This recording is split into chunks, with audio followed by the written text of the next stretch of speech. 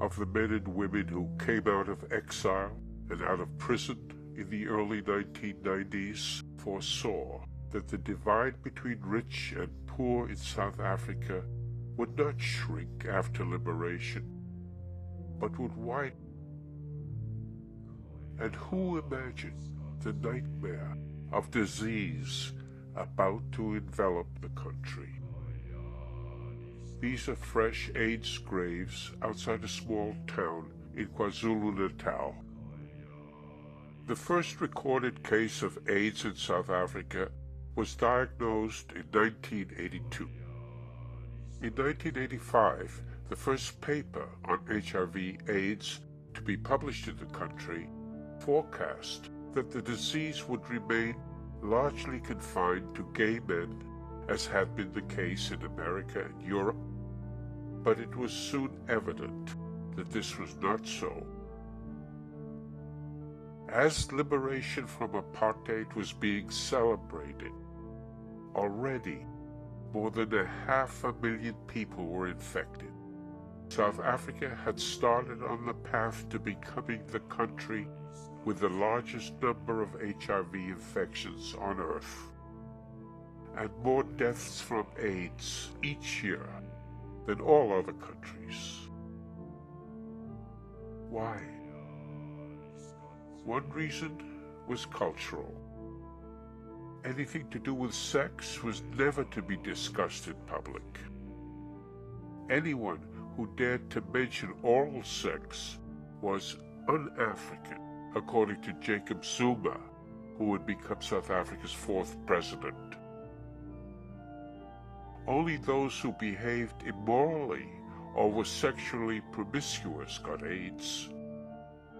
Audiences were shocked when Mandela, after his release from prison and before the 1994 election, tried to engage them on the danger facing the country and the importance of preventative measures like condom use. Why bring all that up before decent people? On occasion after occasion, angry muttering would greet the 75-year-old liberation hero. He gave up. During the five years of his presidency, he avoided mentioning AIDS. Only after his return to private life did he resume speaking out.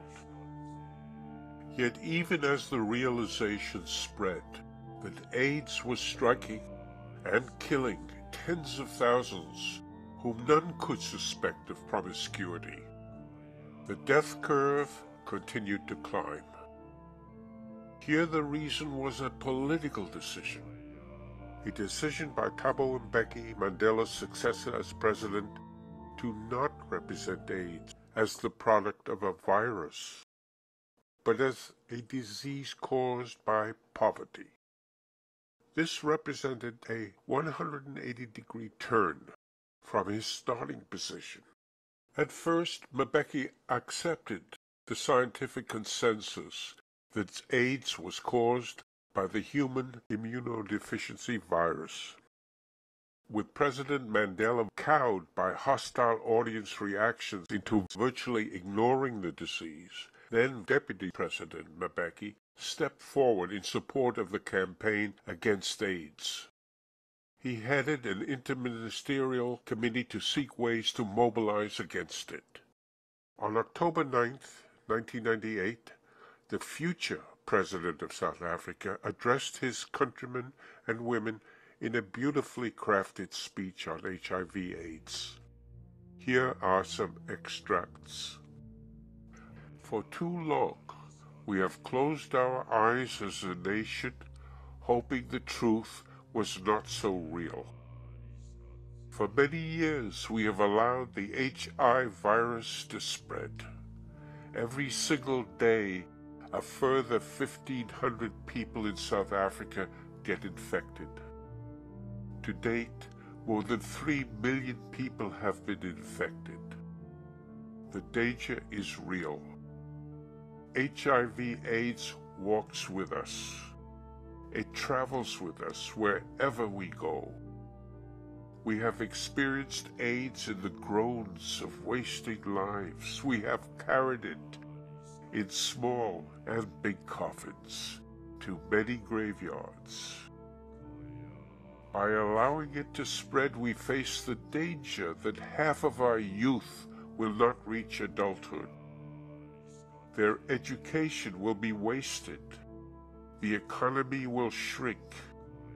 There will be a large number of sick people whom the healthy will not be able to maintain. Our dreams as a people will be shattered. HIV spreads mainly through sex. You have the right to live your life the way you want to. But I appeal to the young people who represent our country's future to abstain from sex for as long as possible. If you decide to engage in sex, use a condom. In the same way, I appeal to both men and women to be faithful to each other, but otherwise to use condoms. We shall work together to support medical institutions to search for a vaccine and a cure. We shall mobilize all possible resources to spread the message of prevention, to offer support to those infected and affected, to destigmatize HIV and AIDS, and to continue our search for a medical solution. However, Soon after delivering that speech, Mbeki would reject with tragic effect each key point he had made. He would spurn the scientific consensus that AIDS was caused by a virus. He would deny that it was a sexually transmitted disease. He would even deny knowing anyone who had ever died from AIDS. Why? It is a depressing story. When the government's newly created Interministerial Committee on AIDS first met in 1997, Mbeki and his colleagues faced an advancing health disaster that seemed uncontrollable. The only hopeful treatment was a combination therapy of three antiretroviral drugs. This was impossibly expensive. One month's supply for a single person cost the Rand equivalent of $868. To supply the therapy to the nearly 2 million already infected would have cost $18 billion, a sum which would consume almost half the national budget of $37 billion. How could the ANC leaders who had promised a better life for all, make any headway into the massive problems already before them with the HIV virus on the loose. Then a miracle appeared. So it seemed. In January 1997, Nkosazana Dlamini Zuma, the Minister of Health, was contacted by a team of researchers who reported that they had developed a special compound for HIV-infected persons. This, after informal trials, proved, quote, far superior and effective than any known treatment to date worldwide, unquote. They had patented their drug under the name Virodene. It was effective at any stage of infection. Terminal cases had been reversed. Patients had regained health and picked up as much as 12 pounds within one month. The number of viruses dropped an average of 88.8%, while cells of the immune system increased an average of 73.4%. Side effects were minimal. After this amazing news was passed to him by the Minister of Health, Deputy President Mbeki arranged for the lead researcher, Olga Visser, a medical technician at the Pretoria Hospital, two University of Pretoria surgeons who had assisted her, and several of their patients to make a presentation to the cabinet. The ministers were told that Virodene appeared to reverse full-blown AIDS to HIV positive. The drug had completely destroyed HIV in a test tube. Three more years of development could lead to a cure. The HIV AIDS patients testified to their remarkable recovery. At the close of the presentation, the cabinet stood up in spontaneous applause. How unexpectedly did optimism and delight replace despair? A patient's month's supply of Virodene, the cabinet was told, could be had for between 80 and 160 rands, or 17 to 34 dollars. In other words, one fiftieth, or at most one twenty-fifth, the cost of the American drug AZT.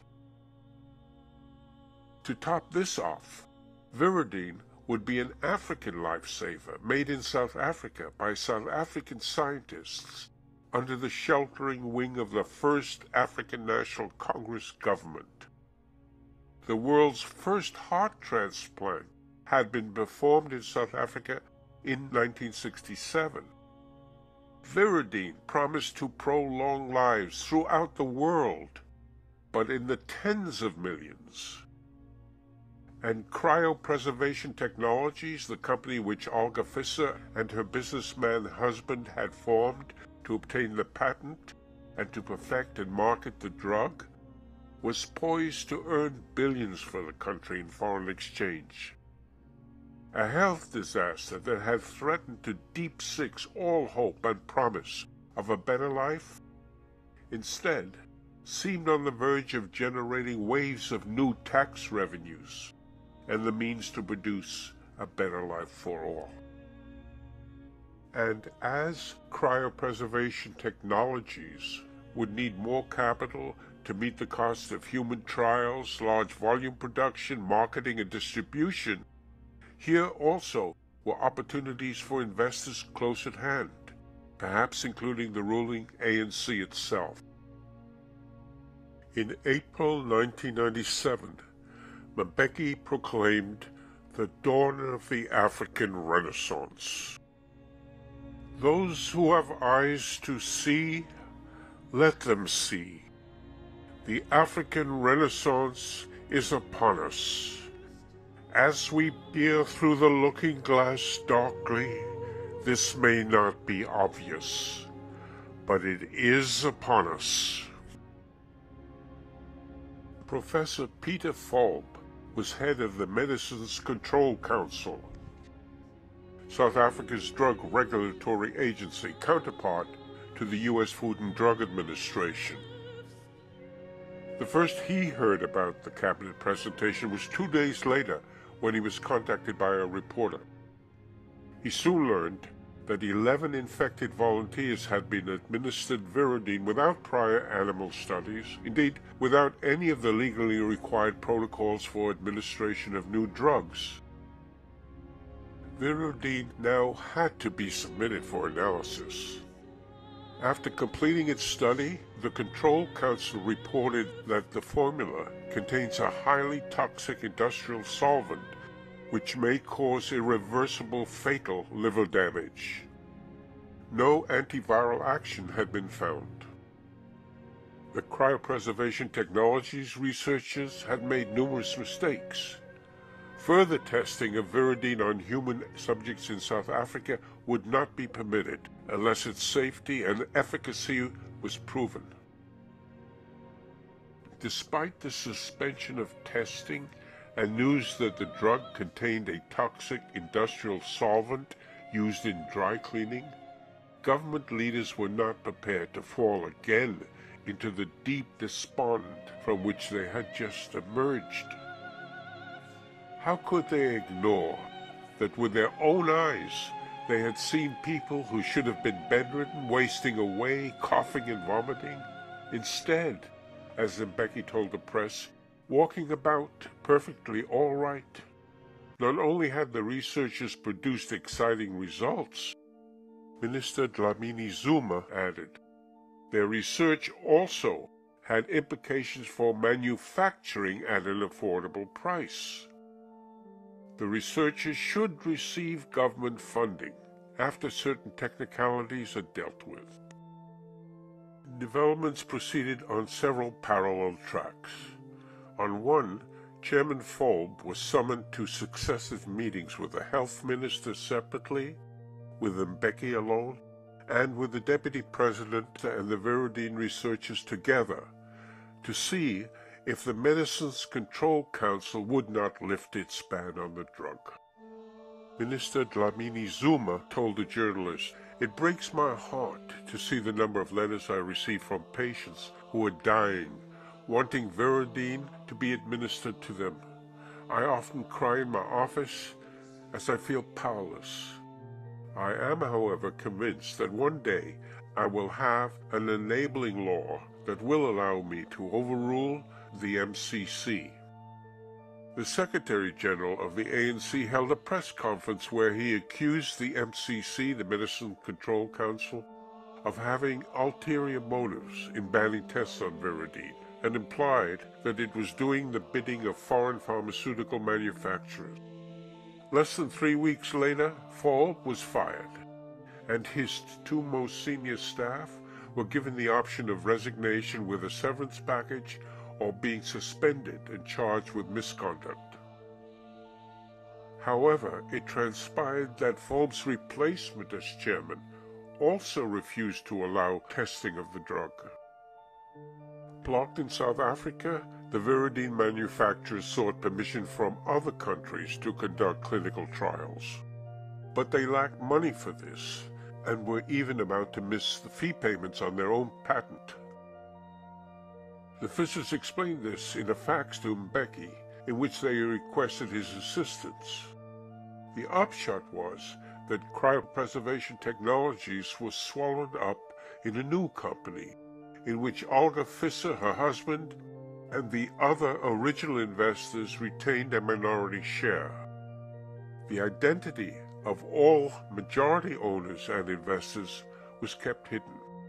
If these included the ruling party or its officials, as suggested by various court documents made public, this would represent a conflict of interest, and that would help explain the government's long refusal to purchase and distribute antiretroviral drugs, which were being used effectively elsewhere. Despite the addition of funds, the Vissers' application to run clinical trials in neighboring Botswana was turned down by its government. Not until September 2000, after Mbeki had succeeded Mandela as president, did the first and only stringent human trials begin. These were with 64 infected soldier volunteers at a military hospital in Tanzania. It would take two years of testing and analysis before the Tanzanian investigators were able to report the results of the first real scientific trial of Virodene on human subjects to the drug's promoters and to the South African government. While awaiting the results, the South African government refused to supply caregivers in its public health system with AZT, the leading antiretroviral drug. During these years, that is since March 1998, the American maker of AZT had been supplying it at one quarter the developed world price to pregnant women in the third world. This followed discovery that if AZT was taken in the final weeks of pregnancy, cases of mother-to-child transmission of the virus would be reduced by 50 percent. An estimated 40,000 HIV-infected infants were then born annually, half of whom could be saved from the virus. A short course nationwide rollout, limited to infected pregnant women in South Africa, was considered. This would have added four-tenths of 1% to South Africa's national health budget. Virodene's future, then, was still unresolved. Minister Dlamini Zuma decided not to proceed with an AZT rollout. AZT, she explained, is not cost effective because we don't have the money.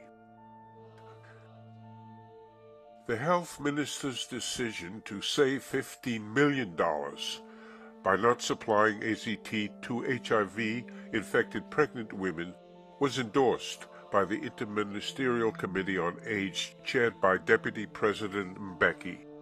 He was chair also of another cabinet subcommittee which five weeks earlier selected the winning bids not on a question of $15 million, but on more than $5 billion worth of weapons purchases, including, as described in the previous episode, a British jet fighter twice as expensive as the Italian alternative favored by the South African Air Force.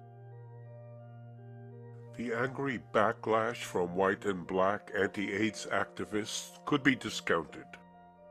Virodene, though its testing in South Africa remained banned, was still in play. If it proved out, who would remember the effects of the current AZT turned-down decision? Indeed, the Virodene promoters were providing Mbeki periodically with upbeat news. He had just received two letters from them. One letter reported that the Botswana cabinet was about to approve funding for formal human trials of Virodene.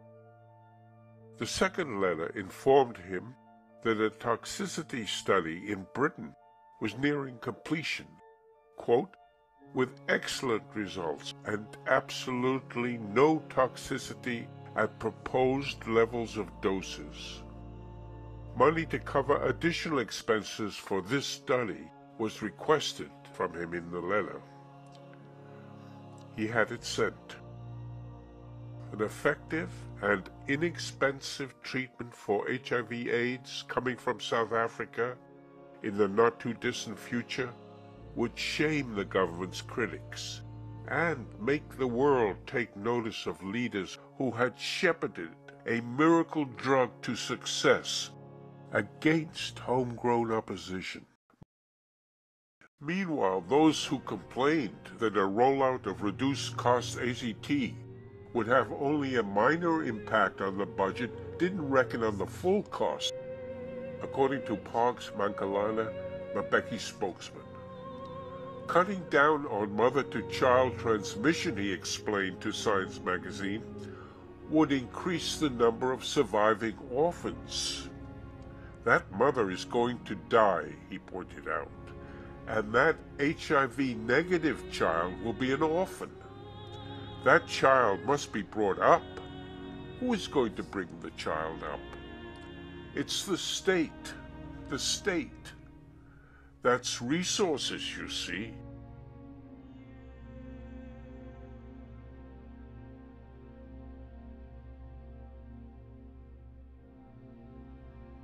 Mbeki was inaugurated South Africa's second post-apartheid president in June 1999.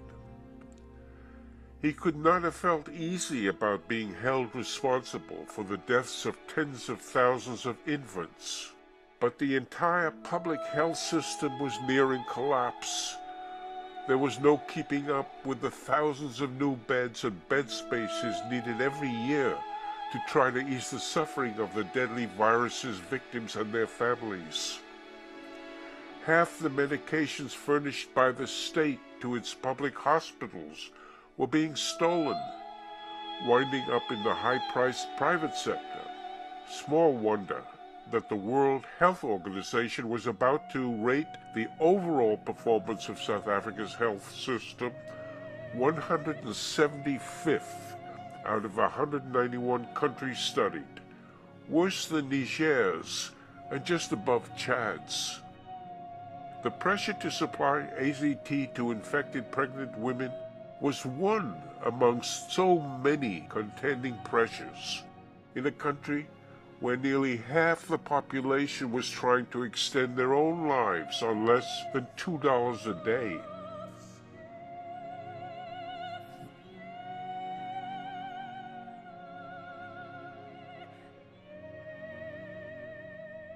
Then there were the pressures coming from the prosperous, from international and domestic markets to keep the state's budget deficit to within 3% of GDP or face a rise in interest rates. Rising interest rates would subtract resources needed to ease other pressures. There was the budgetary strain of repaying more than $25 billion worth of foreign debt passed over from the apartheid regime, and the even larger apartheid era debt owed to domestic creditors, none of whom needed a job, unlike millions of South Africans who would have been grateful to dig ditches if there had been enough money in the treasury to expand public works. The contagiousness of the political atmosphere in which South Africa's president had to operate is reflected in the fact that spokesman Mankahlana felt obliged to spell out the ABCs of his boss's intentions. You know, Mbeki wants to wake up in the morning and see the South African economy grow. He wants to see jobs being created. He wants to see crime levels coming to zero. He wants to see lodgings of people improve. But it was hard to square refusal to spend the small amount required to prevent mother-to-child HIV transmission, even if larger sums would then be needed to care for HIV-negative orphans with a decision to spend billions on weapons purchases. Even weapon types costlier by far than the types the military chiefs themselves preferred. Mbeki couldn't acknowledge that his arms deals were undertaken not because the apartheid regime had left South Africa inadequately armed, but because his political interests seemed to require them. He was not a popular leader, like Mandela. He had not suffered imprisonment. He had not been a street fighter for liberation within the country, nor an armed combatant or military leader in exile. He had gone to college in Britain, studied economics, learned to smoke a pipe, became, some snickered, an impimpi, a black Englishman in tweeds. His use of words like paradigm with interviewers seemed designed to establish his intellectual heft, but made many of his countrymen scratch their heads. Oliver Tambo, the ANC president in exile, had selected him as an advisor and speechwriter. He had gained stature independently for his effectiveness in persuading colleagues at all levels of the ANC to abandon their impossible dream of ousting the apartheid regime militarily, instead to enter into talks with it. The policy direction in which he had set the country after liberation, even though Mandela nominally was president, was not popular. During the years of his exile, he had seen the unpleasant, sometimes cruel fates that befell leaders who tried to deal with desperate poverty in their countries by spending and borrowing until they could borrow no more. He would avoid that fate. South Africa would not fall, like many other countries had, under the control of the foreign bankers of the International Monetary Fund. Spending would be aligned closely to revenues. But he would not boost revenues by increasing personal and corporate income tax rates, despite the fact that such increases would have fallen mainly on whites whose prosperity came from decades of racial exploitation and repression. Instead, to encourage foreign investment, and discourage more flight from the country of experienced businessmen along with skilled white workers and professionals, both corporate and personal income tax rates were lowered. This and similar policies enraged many within the ANC. Even his father, Govan Mbeki, a communist liberation hero who had been sentenced together with Mandela to life imprisonment for terrorism and treason, saw fit to demean him. charging that his son had rolled over. Of all the arrows fired at him, probably this was the most cutting. Why did Mbeki decide or agree to spend billions to buy weapons, deals that had a negative impact on economic growth, like pouring money into the ground that could have been invested in infrastructure and education and health? Certainly, the weapons purchases were not designed to enhance his personal popularity nor answer any realistic national security need. Then why? Perhaps because his most pressing need was to keep key supporters from wavering. While in the UK, Mbeki had learned that cash flows emanating from international arms deals were two-directional. Billions to the arms manufacturers, millions flowing back to the deal makers. Here in South Africa, these included the Minister of Defense, who had persuaded a reluctant Mandela in 1994 to make Mbeki deputy president. It appears that money was also funneled by arms suppliers into the coffers of the ANC. This would have enabled Mbeki to manipulate party members other than those who had shaped the deals and had obtained kickbacks. Small wonder that Mandela stayed in the background while the arms deals were arranged and while AZT was withheld from infected pregnant women who were dependent on the public health system. As for Mbeki, he was trying to steer forward a country so riven between wealth and poverty, and between satisfaction and envy and anger as South Africa continued to be after apartheid ended. It obliged him to shift off course and buy economically useless, expensive objects simply to remain at the wheel. His hope that Virodene might rescue his country and wipe away his own problems dimmed as the government of Botswana decided not to fund clinical trials of the drug. He was left with his decision on AZT. It did not sit lightly on him. The press, the opposition Democratic Alliance Party, and anti-AIDS activists of the newly formed Treatment Action Committee kept what he had done before the public. He could not put it out of mind. Then, just before his inauguration as president, he was pointed down a path which he continued thereafter to follow eagerly. Suddenly being presented to him was a whole body of work to be explored. Books, articles in scientific journals, and on the internet, whose authors were united in denying that the HIV virus was the cause of AIDS. And to his immediate relief, that AZT was not an effective treatment for the disease, but a dangerous toxin, harmful to health, itself capable of causing AIDS. The authors were scientists and physicians in the US, Germany, Italy, Australia, and ethicists and journalists.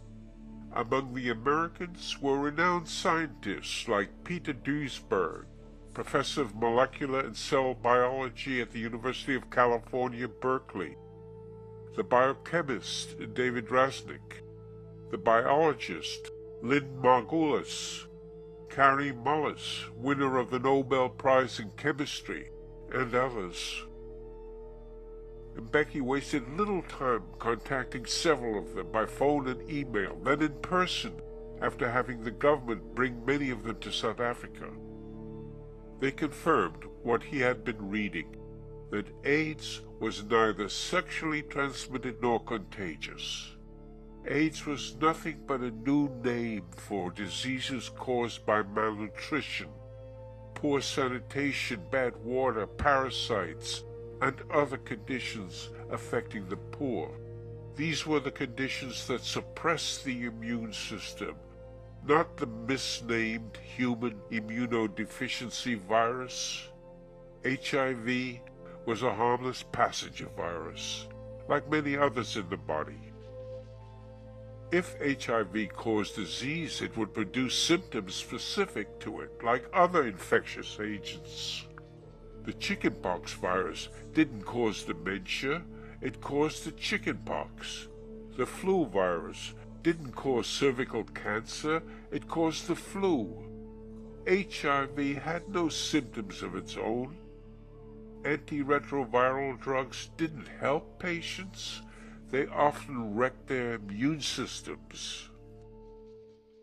He was now able to inform Parliament that while many were demanding that the government make AZT available in the public health system, it had been brought to the government's attention that lawsuits were pending against AZT's makers in the US and the UK, alleging that the drug was harmful to health, and that it would be irresponsible for the government not to heed dire warnings which medical researchers had been making. He knew he would be attacked. But against the backdrop of the arms deal, it seemed less stressful to announce that AZT was turned down because of safety concerns than because of cost. He was careful not to open himself to more criticism by volunteering that the scientific consensus that HIV caused AIDS was wrong. This would have brought demands to account for the extensive evidence that had led to the consensus. For example, evidence showing transference of the virus from a single infected person to individuals with no prior risk factors, and the subsequent deaths from AIDS on both sides of these exchanges, as from an infected dentist to his patients. Mbeki's emotional necessity was to sidestep this evidence. At ANC party venues, however, he needed to negate it, to discipline party members, by setting forth a party position and providing them with talking points. He told ANC parliamentarians that 90% of the deaths in Africa attributed to AIDS were actually due to diseases of poverty and the rest to other illnesses. Party members had not forgotten the help given by the U.S. to the former apartheid regime. Both Mbeki and Mandela were still on the U.S. terrorist watch list. The members heard from their leader that antiretrovirals were poisonous toxins that were being used by the big U.S. pharmaceutical companies to exploit Africa for profit. Africans were their guinea pigs. The CIA was working covertly alongside the pharmaceutical manufacturers to undermine him because by questioning the link between HIV and AIDS and by warning about the toxicity of their antiretrovirals, he posed a threat to their profits. He may have known from the Parliamentary Medical Scheme Committee, which paid for the members' medications, that already 68 out of the 400 MPs were obtaining antiretrovirals to contain their own HIV-positive status. Nevertheless, they wouldn't dare to challenge him because South Africa's system of proportional representation gave party leaders the power to choose which party members would appear on the party's list for election, even the power to expel and switch list members in and out of parliament at will. The solid backing of the ANC top leadership for Mbeki's position on AIDS however, began to fray as he was about to succeed Mandela as president. At a meeting on AIDS three months before the switch, Mandela apologized for his long silence on the subject. Once out of office, he went further. After watching some of his relatives die and a cousin's child recover after taking antiretrovirals. He infuriated Mbeki by declaring publicly that HIV causes AIDS. Subsequently, at a meeting of the National Executive Committee, the party's highest policy-making body, he appealed to make these drugs available in the public health system to infected pregnant women and rape victims. Only two of the 80-member body supported him. The other members vied with each other in denouncing him, none more vehemently than Peter Mokaba, head of the ANC's Youth League, who would die less than three months later for what was described as respiratory problems, widely believed to have been AIDS. Mokaba had been taking antiretrovirals himself, but had ceased taking them. Time and again Mandela tried to meet with Mbeki to raise his concerns over AIDS policy, but the new president refused to take his calls. While Mandela was receiving the accolades of the world, becoming its chief hero and saint, the heavy lifting had fallen to him, Mbeki, and with it had come unceasing attacks as he worked trying to match the country's limited resources to its near limitless needs. Could Mandela keep his thoughts to himself? Loyal party man that he was supposed to be?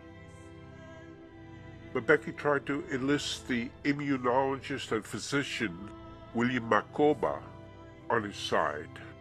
Makgoba was the first African head of the South African Medical Research Council.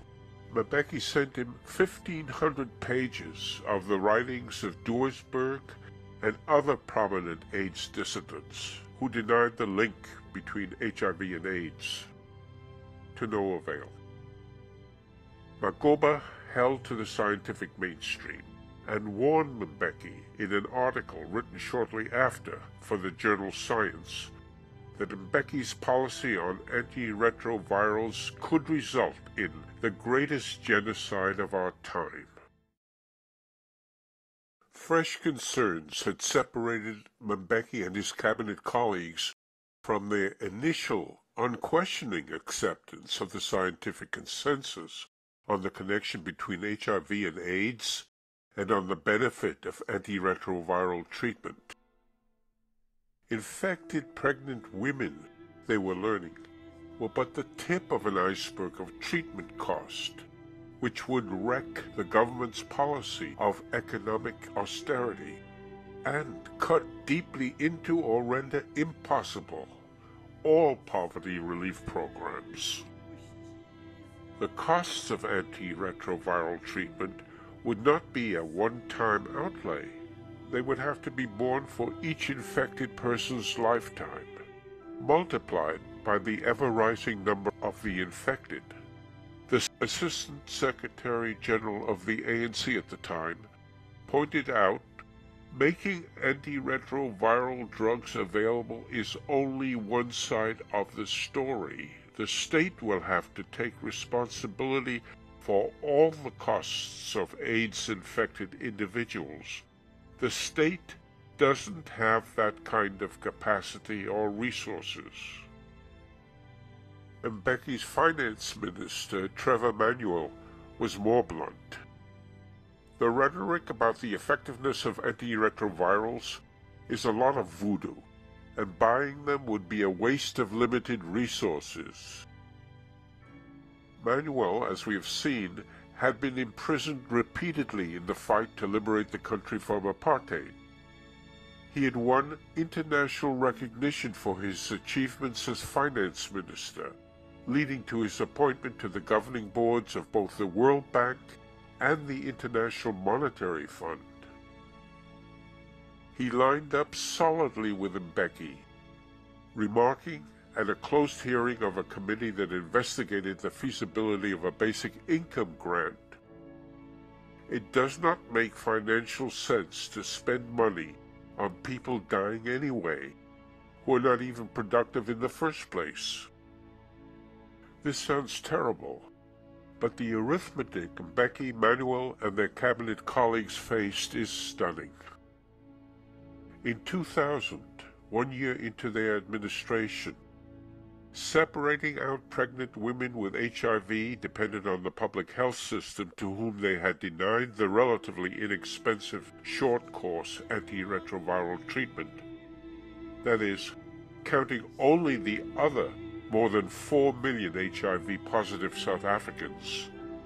The cost per patient, $10,400, to provide each of the 4 million with a single year supply of the then most effective triple drug combination would have totaled $41 billion.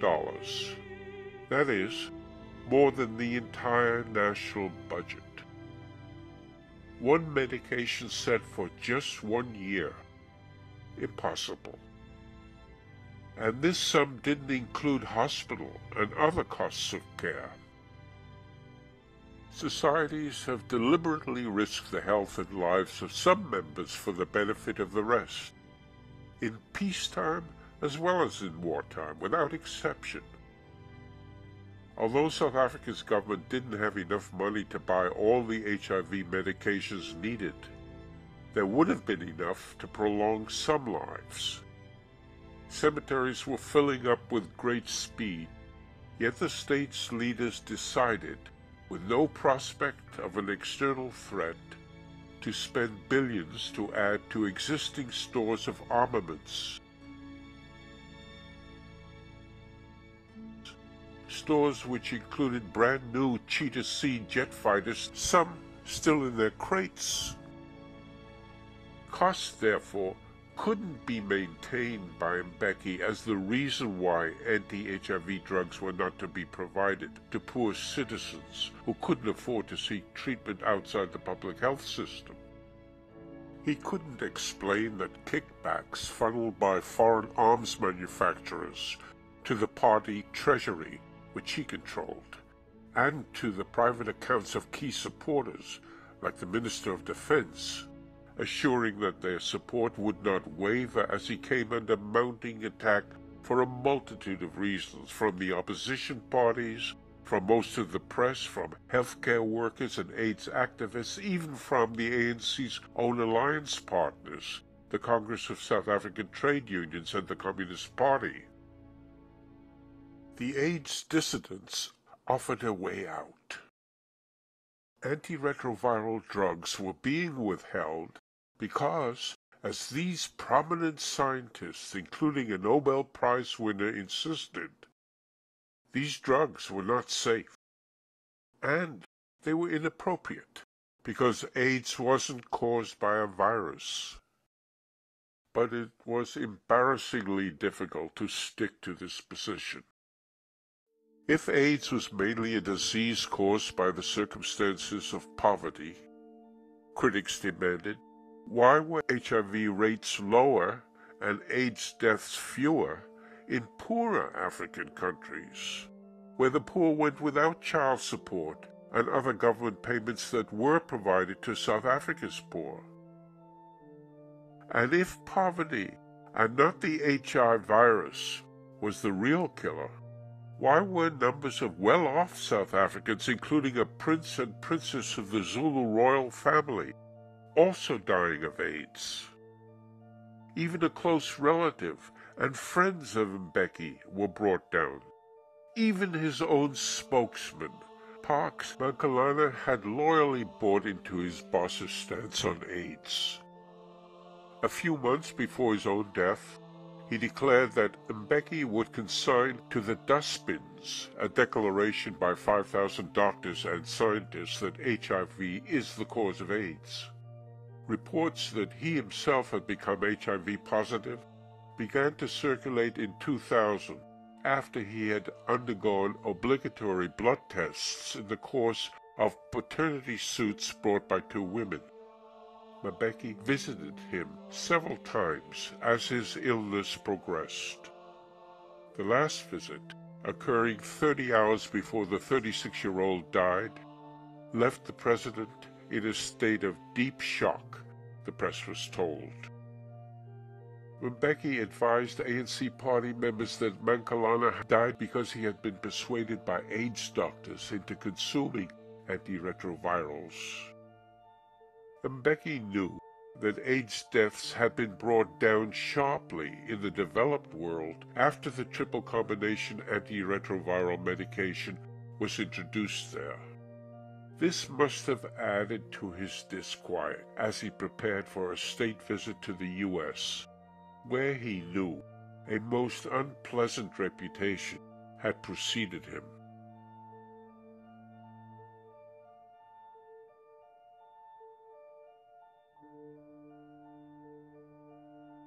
Driven to explain himself in advance of the visit, he composed a five-page letter to President Clinton. When Clinton read the letter, he thought it must be a hoax. He sent it to the State Department requesting verification of the signature, a question then taken up by the embassy in Pretoria. The letter begins with a long series of short paragraphs on the quote, work we are doing to respond to the HIV-AIDS epidemic. Nothing mentioned here seems in any way remarkable or deserving of special attention. President Clinton and other world leaders who received copies already knew that AIDS had killed many more persons in Africa than anywhere else. They also knew that most victims in Africa were heterosexual. They would not be impressed by paragraphs of statistics and sources to pound this in. But as the remainder of the letter made clear, Mbeki was hoping that the letter's recipients would accept what he wanted them to accept. That AIDS in Africa was a distinct disease, unlike AIDS elsewhere. It would be criminally irresponsible of him not to search for a specific and targeted response to this distinctly African catastrophe. He was being condemned merely for consulting noted scientists who because they thought outside the mainstream were considered dangerous and discredited, like the heretics of an earlier period, who were burnt at the stake. How could he be expected to follow the example of the racist apartheid regime which had prohibited dissent? The leaders of the US, the UK, Germany, France, and the others who received copies of the letter commanded far greater resources for combating disease. The problems of poverty and inequality they faced were far smaller than those Mbeki had to deal with. They had no experience of being on the receiving end of racial oppression and exploitation. It seemed to them unquestionable that their pharmaceutical companies should recoup the costs and be rewarded for the risks of undertaking drug development, which included lengthy, expensive, and uncertain safety and efficacy trials. That antiretroviral drug prices then put life-prolonging treatment out of reach of Africa's HIV-infected millions was hardly among their pressing concerns. What led Mbeki to imagine his letter would be favorably received is not known. Perhaps the then still solid backing he was receiving from his own 29-member cabinet skewed his judgment. Principal among his cabinet support on AIDS policy was his own appointee as the country's health minister, Manto Tshabalala Msimang. He had known her for close on half a century, since they attended Fort Hare, the segregated black college, during apartheid. Both had gone into exile together in 1961. In 1969, Manto, as she was widely known, graduated with a medical degree from the first Leningrad Medical Institute in the Soviet Union. Three years later, she achieved a diploma in obstetrics and gynecology from the medical school of the University of Dar es Salaam in Tanzania, and then went on to earn a master's degree in public health from the University of Antwerp in Belgium. She founded the ANC's health department in exile and engaged pre-1994 in planning the movement's attack on AIDS once liberation was achieved, never questioning then that it was a viral disease. Between her medical studies in Tanzania and Belgium, while serving as director of a public hospital in Botswana, she was arrested, tried and convicted on charges of stealing a watch from the wrist of a patient under anesthetic, and of stealing hats, handbags, and jewelry from patients. Botswana declared her a prohibited immigrant and expelled her to Tanzania. This became public knowledge in South Africa only 30 years later. An ANC spokesman then explained that President Mbeki had known, but any sentence under 12 months did not disqualify a person from inclusion on the party list for membership in Parliament. In picking her to head the health ministry, Mbeki could be confident about her complete loyalty. The price she paid was to become a figure of ridicule, as she was sucked by the country's unforgiving crosswinds of great angry needs and woefully inadequate means into the same whirlpool of denial and contradiction as Mbeki. The clash between her training in public health and her obligation to Mbeki restrained her from ever giving a straight answer to whether HIV caused AIDS. In one interview, she was harried into eight successive evasions. Why do you ask me that question today? I have answered that question umpteen times. Yes, and the answer is umpteen times I've answered that question. My whole track record of having worked at the area of HIV and AIDS for the last 20 years is testimony. Why should you ask me that question today? And so it continued. It could not have been pleasant to see the cemeteries filling up while the black cloud of the deal remained hovering above. She struggled to escape this shadow reportedly offering the UK's Guardian newspaper that South Africa could not afford AIDS drugs because it needed submarines to deter U.S. aggression. Subsequently, she denied having said this. In line with the Mbeki's admonition to ANC parliamentarians in 2000 that AIDS was principally a disease of poverty and poor nutrition, not the result of an infectious agent. She promoted lemons, garlic, African potatoes, and beetroot as effective countermeasures. Critics scorned her as Dr. Beetroot.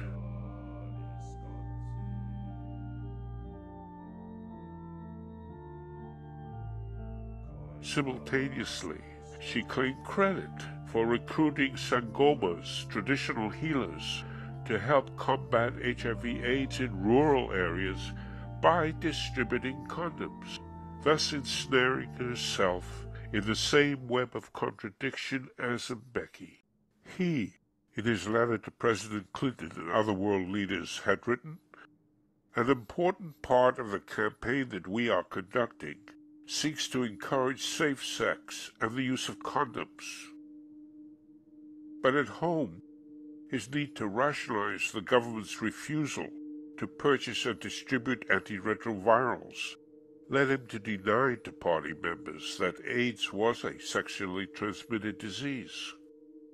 The false claim, he told them, that it was sexually transmitted was being promoted by racists anxious to spread the stereotype that Africans were primitives, devoted to the sin of lust, who engaged in irresponsible sex with multiple partners.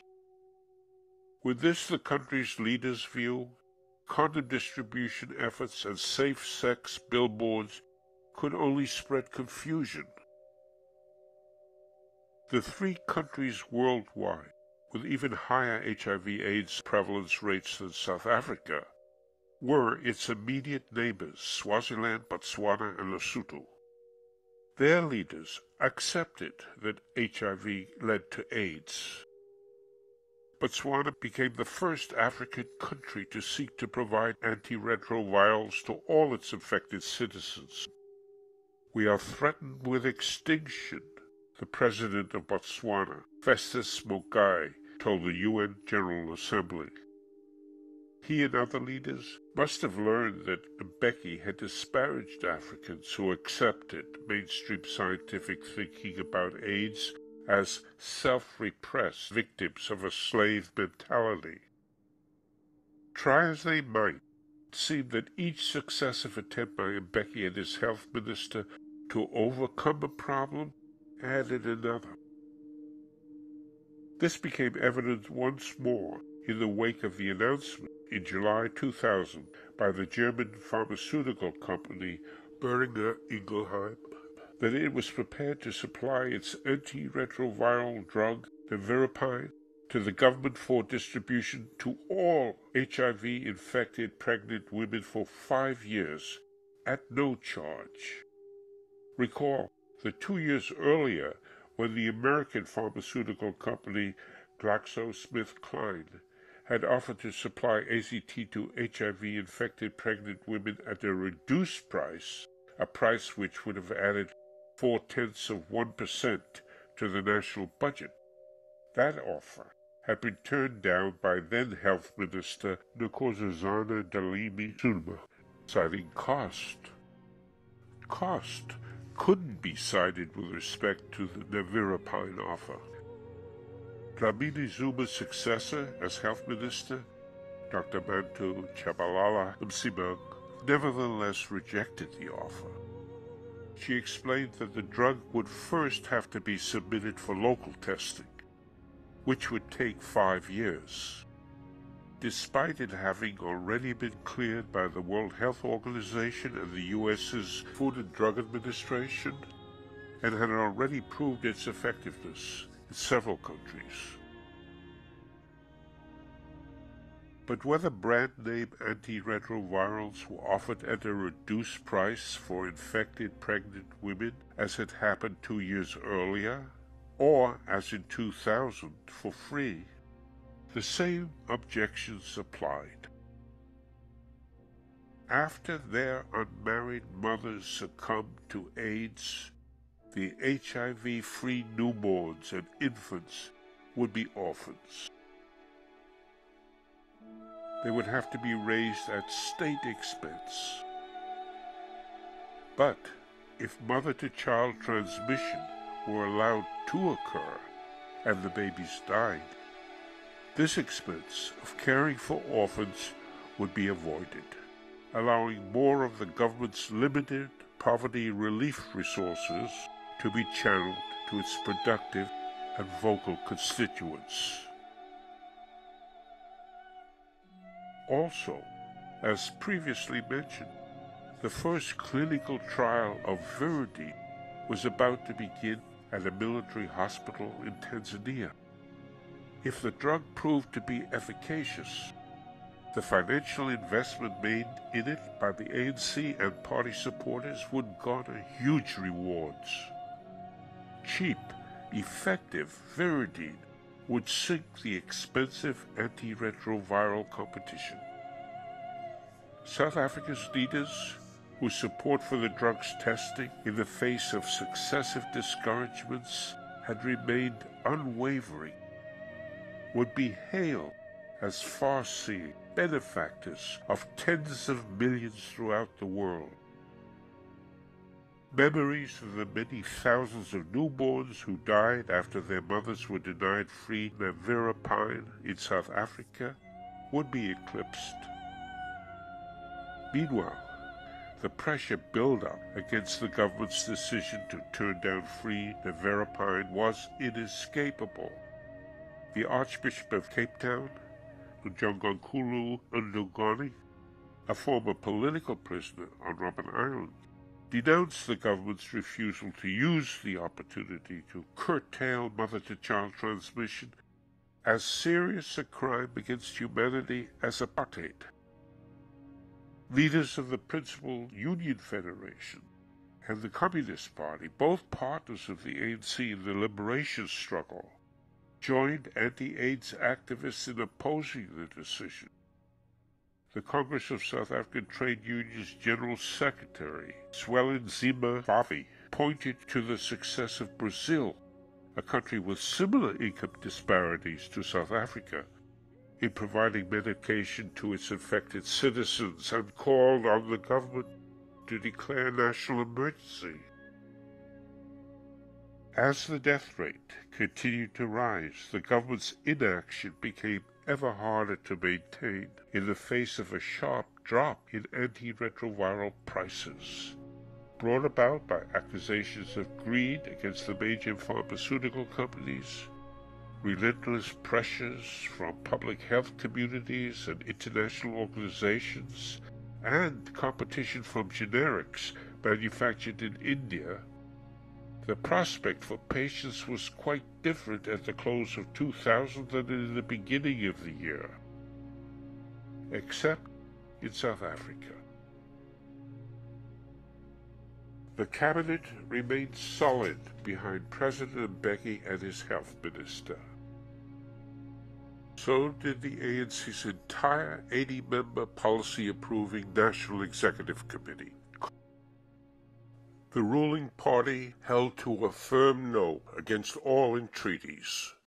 Even as the price of the antiretroviral triple combination treatment continued to be driven down by generic competition from $10,349 per patient per year in May 2000 to $295 by February of the following year and even as the scale of the country's disaster mounted. All this while the grip that the stigma of HIV AIDS had held over the country was weakening. Many South Africans had died in silence and shame, including those who had contracted the disease from their spouses. Gugu Dlamini, a poor woman and anti-AIDS activist, was stoned to death in 1998 after she disclosed her HIV-positive status on the radio because, as some of her assailants were heard to say, her disclosure shamed their township. As mentioned, a veil of secrecy surrounded the death of Mbeki's spokesman, Parks Mankahlana, in 2000. But that same year, Walter and Albertina Sisulu, both imprisoned during the liberation struggle, he with Mandela on Robben Island, announced the death of his son from AIDS. In 2004, Mangosuthu Buthelezi, the uncle of the Zulu king, and for decades one of the most important South African politicians, announced the deaths from AIDS of his son and daughter a prince and princess, and spoke about the devastation the disease has caused within the family circle. Soon after came Nelson Mandela's announcement of the death from AIDS of his oldest surviving son.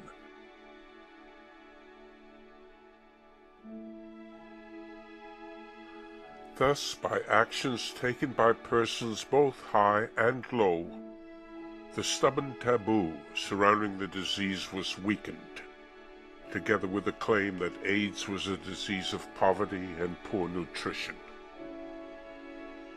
In August 2001, the Treatment Action Campaign, the country's leading AIDS activist organization, sued the Minister of Health in Pretoria High Court, charging that the refusal to distribute the nevirapine to all HIV-afflicted pregnant women dependent upon public health services violated two legally binding international conventions, including the Convention on the Rights of the Child, signed and ratified by the former apartheid government, which guaranteed the health of women especially during pregnancy. When the judge ruled against the Minister of Health, her colleague, the Minister of Justice, announced that the judge's ruling to distribute the drug would not be enforced. Instead, the ruling would be appealed to the Constitutional Court, South Africa's Supreme Court. The first break in cabinet unity came in February 2002. It was made by Home Affairs Minister Buthelezi. This was two years before the death of two of his own children from AIDS. After years of seeing his home province, KwaZulu-Natal, suffering the worst of the health disaster laying waste to the country, he was no longer willing to remain silent nor accept his colleagues' policy of inaction and obstruction. He told Parliament that KwaZulu-Natal would, quote, ensure that children are not born with a death sentence. He instructed the province's premier to offer nevirapine to all HIV-positive pregnant women there. A month later, the ANC National Executive Committee met to support Mbeki's opposition to the provision of antiretrovirals. The party's leaders reaffirmed government policy to not offer nevirapine through the public health system to HIV-infected pregnant women and not to provide the drug to rape victims, nor to healthcare workers who had sustained accidental needle prick injuries. South Africa, the committee declared, would not be stampeded into precipitate action by pseudoscience, an uncaring drive for profits, or an opportunistic clamor for cheap popularity.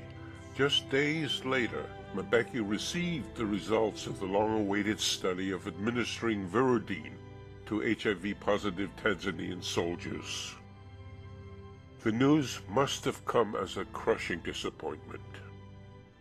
Virodene was no cure for HIV AIDS. It had no effect on the HIV virus. The news would get out together with the reports about the millions of rands channeled to fund Virodene's trials, while so many were refused effective treatment and left to die. In the hope of limiting the political damage and warned by the finance minister and the governor of the South African Reserve Bank that the growing international notoriety of the government's AIDS policy was showing signs of depressing foreign investment. Mbeki led the cabinet into an abrupt policy reversal towards antiretroviral drugs. Not only would nevirapine be provided through the public health system to all HIV-positive pregnant women, as the High Court of Pretoria had instructed, also antiretrovirals would be made available to rape victims, and accidentally infected nurses and other health workers. Three months later, the Constitutional Court, as the government anticipated, upheld the Pretoria High Court's order to provide nevirapine immediately. But distribution of the drug did not begin for another two years not until a couple of weeks before voters went to the polls for the April 2004 national election, the ANC would again win a huge majority, allowing Mbeki to begin his second term as president. Four months later, the health minister announced that the government would not meet its target to supply antiretrovirals to but 53,000 persons by 2005. There were then more than 4 million South Africans infected, more than one person out of every 10. The price of a patient's annual supply of the needed drugs had fallen to less than $200. This, though, in a country where millions were trying to live on less than $2 a day. Mbeki had staked his reputation on the idea that the current HIV-AIDS drugs were dangerous toxins doing more harm than good. Efforts to correct him failed. His response to the prevailing scientific consensus was that a scientific consensus had once existed over the use of the morning sickness pill, thalidomide, with deadly results. But he had been forced to compromise. Nevirapine was being offered in a limited way through the Public Health Service. And compromise also was the picture Health Minister Manto Tshabalala Msimang presented of South Africa's policy at the World's AIDS Conference in Toronto in August 2006.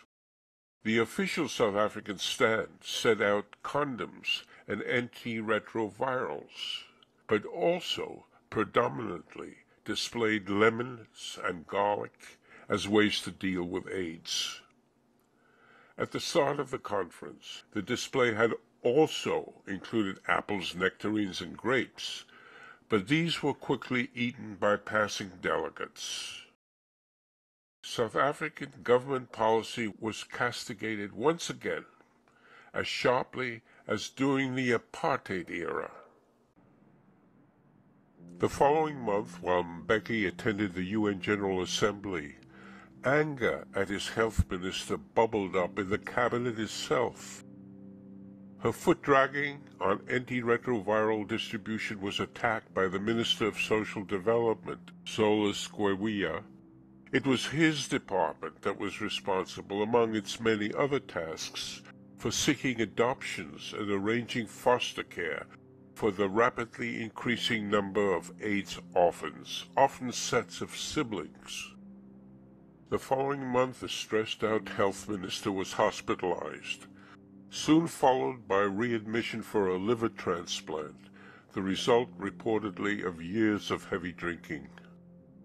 Mbeki placed HIV-AIDS policy administration with the deputy president, Phumzile Mlambo Ngcuka, who leaned on her personal friend, the Deputy Health Minister, Nozizwe Madlala Routledge. Both women made no bones about attributing AIDS to HIV.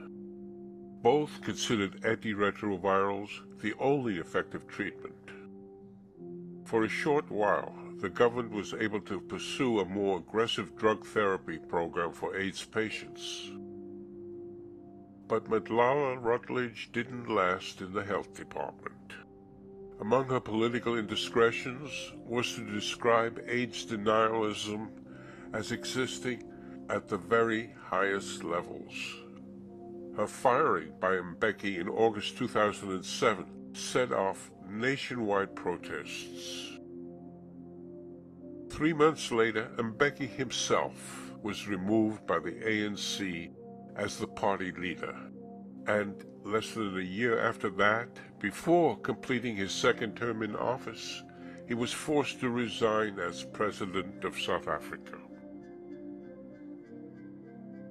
Average life expectancy in South Africa after rising steadily for more than 30 years began to fall before apartheid ended.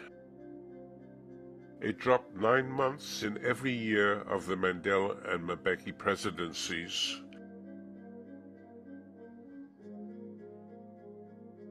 Average life expectancy also fell even more precipitously in neighboring Botswana. But Botswana's government began distributing antiretrovirals in 2002, two years before South Africa did. By 2005, only 15% of those needing antiretroviral treatment in Botswana were not yet receiving it, while 77% in South Africa were not receiving treatment. This limited distribution occurred even as the price of a year's supply of the triple combination drug treatment continued to fall. More than $10,000 per person the first half of 2000 the cost had dropped to $64 during Mbeki's last year in office. Both Kgalema Motlanthe, who served as an interim president during the nine months after the ANC's dismissal of Mbeki from the presidency, and Jacob Zuma, the next elected full-term president, had accepted without question the government's AIDS policy during Mbeki's nine years in office. Zuma, while serving as deputy president under Mbeki, had headed the government's National AIDS Council, the key national body advising the government on HIV AIDS. In 2006, during a trial in which he was acquitted of raping a 31-year-old family friend whom he knew to be HIV positive, he had testified that he had not used a condom, but as a precaution had showered afterwards. Both Motlanthe and Zuma recognized the balance of forces had changed. Barbara Hogan, imprisoned for high treason during the apartheid regime who replaced Manto Tshabalala Msimang as health minister during Motlanthe's brief tenure, and Dr. Aaron Motsoaledi, Zuma's appointee, were in no doubt that HIV caused AIDS and began working to overcome years of denial and obstruction and expand the country's AIDS program as rapidly as budgets and human resources permitted. A concerted effort was made to prevent mother-to-child transmission of HIV. This meant systematically testing pregnant women able to visit antenatal clinics and beginning antiretroviral treatment for those showing a weakened immune system. No doubt, because of budget worries, there was skipping here at first both in the testing and the treatment. Initially, antiretroviral drug treatment was reserved only for women whose CD4 cells, the disease-fighting cells of the immune system, had been reduced by the virus to 200 or less per drop of blood. At this point, AIDS begins with the body virtually defenseless against infections of all kinds.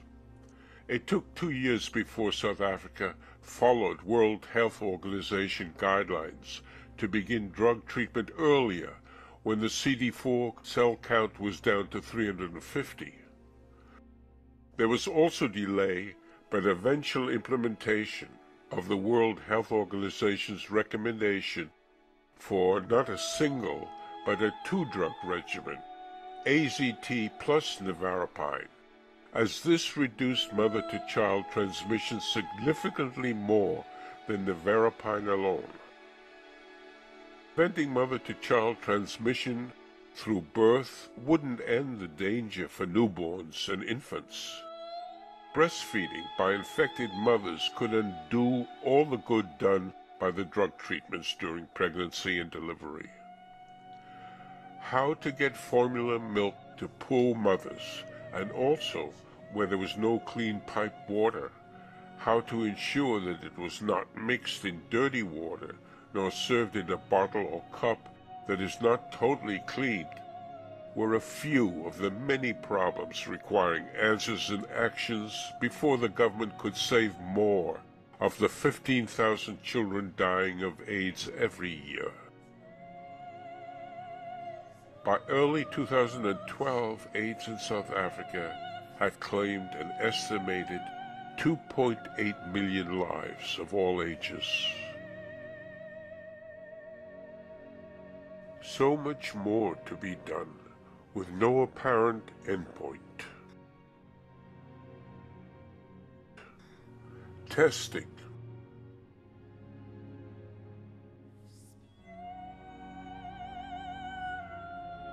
messaging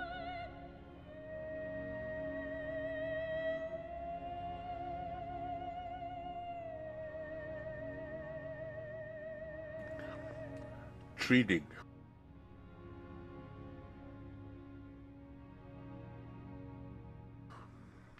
Caring.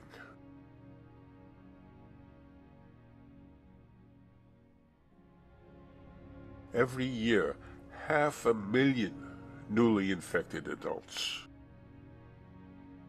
More than 300,000 kids under 15 were living with the virus needing drug therapy every day, every year, for the rest of their lives. Already, more than two million children without parents. Some more fortunate than others. What lay in store for them? What would become of South Africa when they were grown would the country's huge crime problem become more destructive? one-tenth of the largest employee group in the country, the public sector workforce, teachers, nurses, police, city engineers, railway workers, and others, have become infected. When the government moved to bring a bit more relief to the poorest families by raising to 18 the age at which a child living at home could be claimed for the child support grant, the money to fund this meant less money to slow the spread of HIV infections in the prisons and among commercial sex workers. There were many such trade-offs. The HIV virus had become entrenched in the country. There is yet no vaccine and no cure. Enabling people infected with the virus to live longer as a result of treatment with antiretrovirals also means that the virus lives longer and so has additional opportunities to infect others. By 2012, South Africa had 5.7 million infected with HIV, including this mother and her child. More than any other nation. 1.8 million of them had then been brought into a treatment program, also more than in any other nation.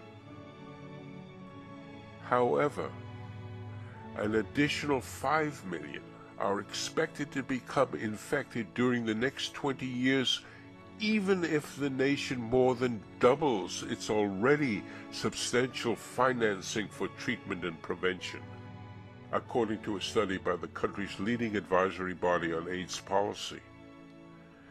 Nearly doubling the pool of persons from which the virus can spread is a terrible prospect but merely to keep the new infections from not exceeding the projected 5 million mark will require an expenditure of $5.1 billion during each of the next 20 years. $3 billion more every year than the 2.1 billion currently being spent on AIDS programs.